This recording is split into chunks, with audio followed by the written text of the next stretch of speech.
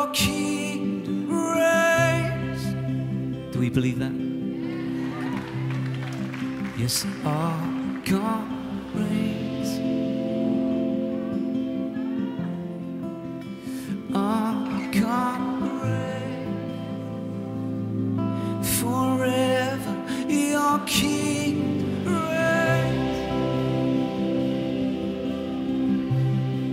Yes, our God. He's not dead, but He is alive.